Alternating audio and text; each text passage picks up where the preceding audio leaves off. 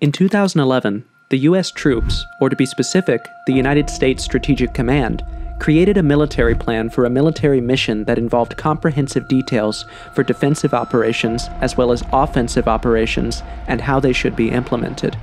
Basically, this book had everything they needed to defend themselves in a war. But it turns out that the opponent of this war isn't Russia or China, it isn't even human. This military plan was created to stop zombies. Which begs to question what is Conplan 8888 and why is the military preparing for a zombie attack? I honestly thought zombies only lived in science fiction all this time. Well, it's looking like I was wrong. The origins of the plan can be traced to some training exercises held in 2009 and 2010 during which young officers participating in the Joint Operational Planning and Execution System realized the potential upsides to planning for a possible zombie attack, and that gave birth to ConPlan 8888. The document is on the internet, and we even attached a link to download it in the description below. Now, at first, when researching this topic, I thought maybe there was a misunderstanding somewhere. Sure, the American government, at least to my knowledge, is known for setting up what I call planners, whose job it is to imagine what might go wrong or cause a war in the future, and then come up with military and civilian solutions to deal with these risks. Over the years, American war planners have made plans for everything from a nuclear war with the Soviet Union to an enemy invasion of the US mainland, an attempt to kill the president or destroy the White House, and even on how to respond to a huge asteroid or comet hitting Earth. And yes, they do have numerous backup plans ready in case World War Z becomes a documentary instead of a movie. Fun fact Russia has an agreement to help the US should aliens attack. As with other backup plans, these are kept very hidden, but they give the military ways to fight a wide range of anything, at least as well as our current technology allows. So imagine my surprise when I found out zombie was part of the list, and with a strong disclaimer that says, this plan was not actually designed as a joke. During the summers of 2009 and 2010, while training augmentees from a local training squadron about the JOPP, members of a USSTRATCOM component found out, by accident, that the hyperbole involved in writing a zombie survival plan actually provided a very useful and effective training tool. In other words, the 16 page document had everything on dealing with zombie attacks from inception to total eradication, it was a well detailed tactical plan. And unlike government documents that are classified and then maybe released decades later under the Freedom of Information Act, this document was never classified. In such, it was left unclassified so that it could be used by as many people as possible during a time of crisis. This document was created to come up with a full contingency planning guidance for military actions to protect non infected humans from the dangers posed by a zombie horde, because zombies are well, a threat to all humans. The military has to be ready to protect all human life and provide support to any human group, even to those who are usually considered enemies. This document aims to achieve three things. 1. Create and maintain a strong defense environment to keep humans safe from zombies. 2. If necessary, carry out actions that will, if ordered, eliminate zombie threats to human safety. 3 help civil authorities keep the peace and bring back basic services during and after a zombie attack. Not gonna lie, it's a solid plan. Military personnel are basically given the freedom to eliminate any threats of zombies by any means necessary, because according to them, zombie infections could seriously threaten national security and the economic activities that keep our way of life going. According to Conplan, we have like eight different types of zombies, Starting the list is the pathogenic zombies. These type of zombie life forms are created after an organism is infected by a virus or bacteria or some other form of contagion. Which is interesting because in June of 2024, Japan had a high case of flesh-eating virus. But maybe I'm overthinking things. Luckily, some of the viruses that cause pathogenic zombies can be killed by ultraviolet light, which is what our sun dishes out to us for free, so this won't be a problem that much. RNA, or ribonucleic acid, which is part of most viruses, can't function well when exposed to UV light. At best, UV light can stop viruses from making copies of themselves in healthy cells. The sun also makes zombies of this kind experience painful photosensitivity as a result of sunlight exposure. For this reason, these type of zombies are only expected to move at night. The next zombies on this list are radiation zombies. These are zombie life forms that are created after an organism is infected by an extreme dosage of electromagnetic or particle radiation. This next one sounds like something from Dungeons and Dragons called evil magic zombies. These zombie life forms were created via some form of occult experimentation, in what might otherwise be referred to as evil magic. Honestly, I was gonna laugh it off, but hey, Adolf Hitler spent resources on the occult and had a section of his army that was dedicated to occultic things. Even men and women of old were in one secret society or the other, so who knows, it might be worth considering. Then we have Space Zombie, these zombie life forms originate from space or were created by toxic contamination of the Earth's environment via some form of extraterrestrial toxin or radiation. Now, under the space zombies, we have the zombie satellites, but they're not necessarily harmful unless they deorbit without permission and kill lots of people. Usually, these types only threaten SATCOM services like DirecTV. The first thing that came to my mind when reading this section was a zombie transformer. Is that what the military was saying? that not only do we have aliens and zombies, but we also have Transformers? But it turns out the reason this was included in the plan was because of an incident that happened on April 5, 2010, where a satellite named Galaxy 15 ceased responding to commands sent to it by controllers on the ground, and for eight months just drifted and even interfered with other satellite signals near it. It wasn't until the 23rd of December of the same year that the company was successfully able to regain control over the satellite, so maybe they do have a reason for being worried. The next thing on the list was weaponized zombies, and these types of zombies were created intentionally through bio or biomechanical engineering with the sole purpose of being used as weapons. The movie The Crazies shows the most common type of weaponized zombies, in which people are turned into zombies by exposure to toxic gases. Number 6 is the symbiont induced zombies, and these zombies are caused by a symbiont life form being introduced into a naturally healthy host. I think the Marvel movie Venom falls into this list. However, once zombieism has happened, there's no known way to save the organism, not even if the symbiont is taken away. Next, and I kid you not, is the vegetarian zombies. These types of zombies do not threaten humans and can easily be made from any source that I've mentioned before. Modeled after the famous game Plants vs. Zombies, these zombies eat only plants. As a result, they can destroy a lot of trees or wipe out basic food items that people need, like rice or corn. The last one is the chicken zombie. At this point, I was ready to throw in the towel. I mean, space zombies, satellite zombies, vegan zombies, and now chicken zombies? I thought I had wasted my time until I saw that the chicken zombie had been proven to exist. Chicken zombies were first written about in Jonathan N. Forrester's online piece, Zombie Chickens Taking Over California, on December 4, 2006. And this happens when chicken farmers use carbon monoxide to euthanize old hens that can't lay eggs anymore. The hens are then put in big piles to break down. When buried, the hens look dead, but for some reason, they come back to life and dig themselves out from the piles of dead chickens. When these chicken zombies get to the surface, they stagger around for a while before they finally die a second death from organ failure. Seeing chicken zombies is actually scary, and anyone who witnesses such a thing will likely become a vegetarian. Luckily, they don't seem to be a direct threat to people. I didn't want to believe in chicken zombies. I mean, come on. We as a human race eat chicken more than anything. Imagine eating a defective one. Nah, I, I didn't want to believe it. So I did a little research on it, and one thing led to another, and I found out that zombification is almost like a normal thing in the animal kingdom. So apparently, there is a brain stealing parasite that turns snails into zombies. These things are called green banded broodsac, they are worms, and they live inside the snail's eye stalks and take over their brains.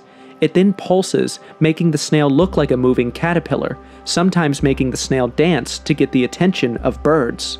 Once the bird eats the parasite, it grows up into an adult, mates with other adults, and makes eggs that are then released into the bird's waste, starting the cycle all over again. Here is a video of a zombie snail. Now, this is a disclaimer, and I must warn you, what you're about to see is not pretty at all, so I really hope you're not eating as you watch.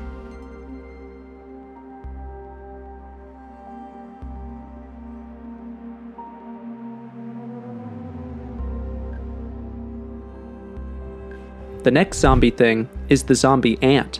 The Ophiocordyceps unilateralis fungus only wants to do one thing spread itself. The fungus, which grows in tropical woods, affects a hunting ant through spores that connect to and break through the ant's shell and slowly change how it acts. As the illness gets worse, the ant has to leave its nest to find a warmer, more wet place where the fungus can grow.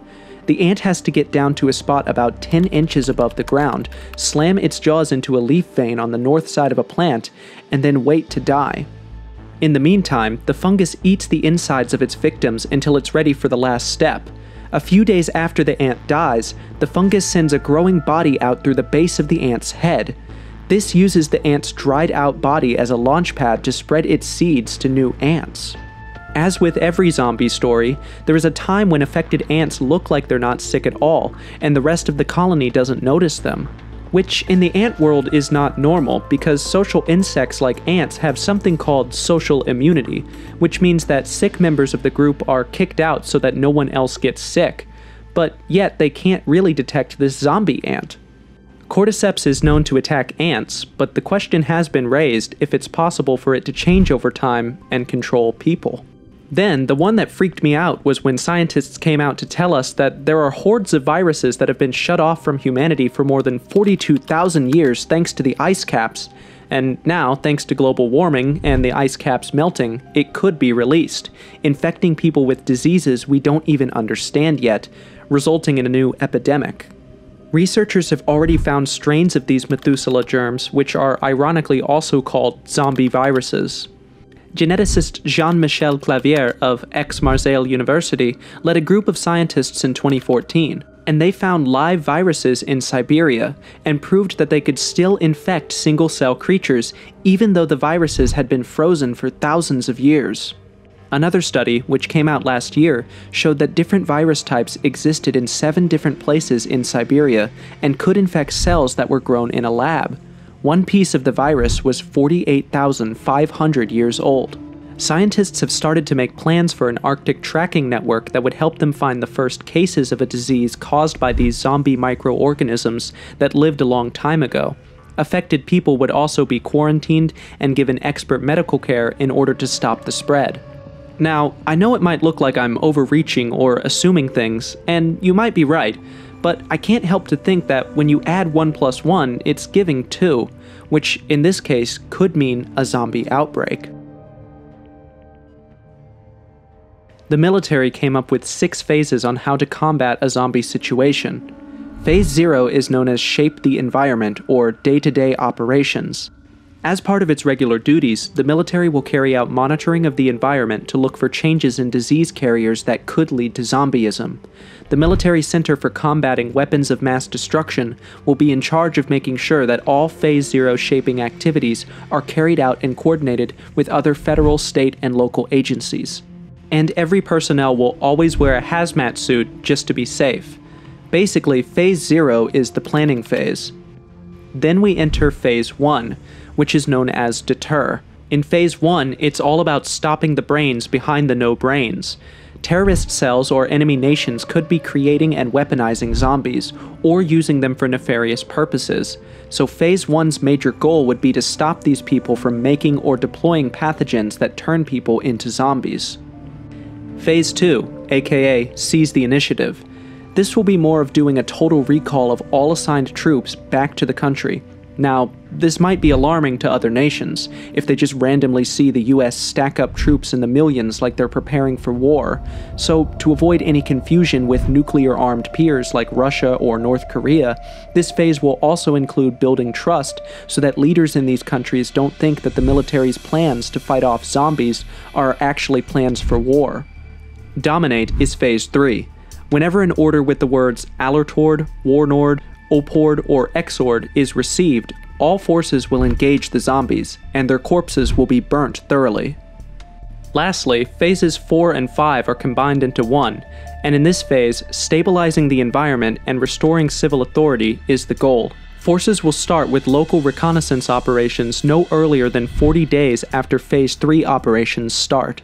Their goal is to find out how bad the zombie threat is still, how safe the environment is physically and epidemiologically, and how basic services like water, power, sewage infrastructure, and land, air, and water lines of communication are doing. All reports are sent back to HQ, and they will be sent in clear text over private communications.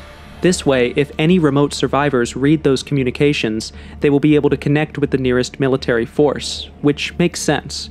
However, there was one thing that caught my attention in the document. It was in the last section of the document. To summarize, because of how easy it can be for a zombie outbreak to spread in minutes, it is advised that if someone in your party gets cornered off, you should leave them to their fate. You are not allowed to go back for family, friends, or anyone who unfortunately couldn't get away fast enough from zombies. This reminds me of the Walking Dead scene where Shane left the fat man to the zombies as he escaped with the drugs for Rick's son. Maybe that scene was the motivation for this rule. I don't know. It also talks about finding sources for upkeep. Rainwater will be very important for human survival, and we should hardly use groundwater from streams and rivers because it will become unreliable, since it will be difficult to determine if the water is a zombie infection source or not. Also, people who do not have direct shelter in a sturdy structure that protects them from the direct effects of air currents that could carry pathogens or toxins or direct exposure to radiation will be at increased risk of contamination, injury, and maybe death. Look, I am not kidding. This document is very detailed, even talking about the limitations that the military will face, like not having adequate tools and materials to make a proper zombie defense, or running out of resources in less than 30 days, or how the military doesn't actually have a zombie unit that is trained on fighting zombies everything included in this document actually can be implemented against a zombie invasion, and I'm inclined to believe there is an 85% chance that if you as a civilian follow the guidelines of this document, you would survive a zombie horde with ease, not to talk of military units. Which made a lot of people think why would the government have a very detailed zombie plan? Unless they already know something we don't. Despite how exhaustive this document is, the same government that had a disclaimer that this document wasn't a joke or a prank also came out to tell us we shouldn't take this document seriously, adding another disclaimer in the document that this fictitious plan was created by junior military officers undergoing training related to the Department of Defense's Joint Operational Planning and Execution System, JOPES, the formalized process by which the department conducts all contingency planning and execution. In an effort to learn the JOPES process and to do so in a more interesting way, the students were assigned this completely fictitious scenario and directed to use JOPES to develop a written contingency plan. Using this fictitious scenario avoided concerns over the use of classified information, it resolved sensitivity to using real world nations or scenarios, and it better engaged the students. In simpler words, it's all fake. Don't get me wrong, the plans are real, but the opponent isn't real. Let me explain what I mean. Zombies were picked because the idea behind using zombies in the first place was ridiculous. And remember, I said this was really detailed. So imagine instead of zombie, you see China, or Nigeria, or any country. It'll be harder for the US military to come out and say it's all fiction. This can result in a political fallout that happens when the public wrongly believes that a made up training scenario is actually a real plan. And trust the media, they will spin the narrative to make it look like it's leaked classified documents to invade another nation. But with zombies, not so much. And even if people still don't believe that the plan was just a training exercise, the fallout or damage is still very low. No country will feel threatened or raise up their defenses. And just like they said, people saw it and thought it was a leaked document from the government that zombies exist even though it's written right there on the document that, first of all, this is not classified in any way, and secondly, it's all fiction. That being said, I'm actually happy that at least one country has a plan to stop zombies. I still get freaked out remembering the zombie snail. What if one human mistakenly eats a zombie snail? All it takes for chaos to reign is just one infected human. But with this plan, I can sleep at night knowing that there will at least be something done about it. I do hope your country at least has a zombie plan. You may never know what might just happen, and if you still believe we are far off from a zombie apocalypse, maybe this zombie woman will change your mind.